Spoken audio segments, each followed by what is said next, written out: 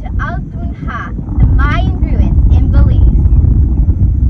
Hi, and I'm with my friend Abraham from Belize. Abraham, what can you tell us about the Mayan ruins here? Hi. Uh, this is one of the uh, most famous ruins in Belize. It's called Altun Ha. It means sun god in English. They found here one of the largest jade heads in the Mayan um, world that was made here. The sun god was buried in that main ruin over there. That's where all the human sacrifices were done before Christendom came to Belize.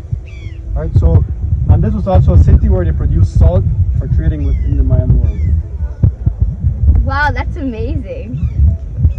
Thank you, Abraham, for sharing so many interesting facts about the Mayan ruins here. Welcome, anytime.